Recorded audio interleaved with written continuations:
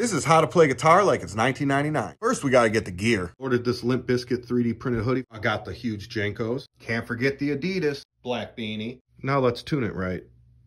Now we just gotta get ready for the next steps. Are you?